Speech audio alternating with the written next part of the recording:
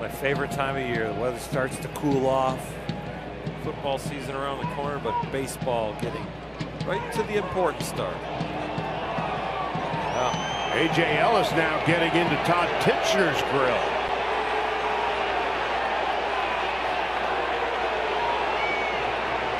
Now Mattingly's coming out trying to play peacemaker.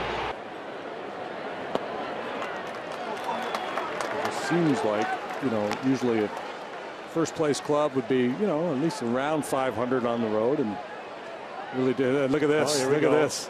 And Lester, his body language has not been good. He's very frustrated. And With Andy, Andy Fletcher's Fletcher trying to get. I've never seen this. Have you? No, and uh, David David's got a chance of being ejected here. Yeah, this is the pitch to Werth. That was off the plate there, and he was still barking with Guccione. That's where probably AJ just said that pitch is outside. Yeah, that pitch was outside. The other one wasn't. plate. And if A.J. Burnett had to work some magic in the third inning, boy, look at this. Wow. And now, Eric Cooper marches toward A.J. Burnett. Have you seen that recently? No. From an umpire charging after the pitcher? and Maharas who were effective. And Ordonez is called out on strikes. And Ordonez and Schrieber exchange.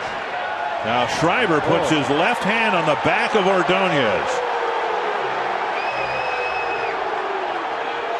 And that's what's got Jim Leyland upset. And I don't blame him. You don't want players touching you, then you should not be touching players.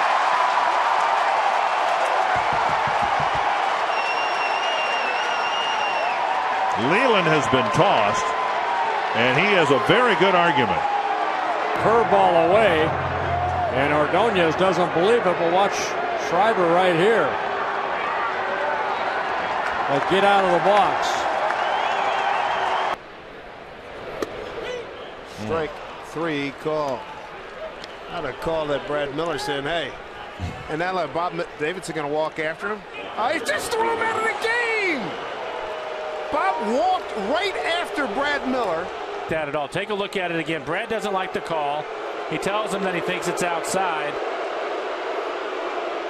Then he runs and then he from the- walks after him. And then he just smiles at him and he throws him out of the game.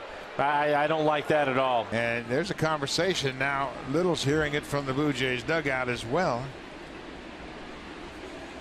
It's been a tough game, and, And that's see it. And he throws out John Gibbons, and hard to fathom that he could really tell what Gibbons was saying, other than he knew he was getting on him.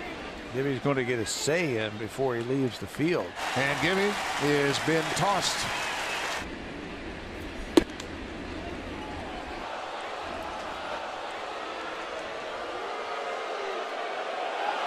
Now he's thrown Stroman out and, And Russell out. That's ridiculous. That is terrible.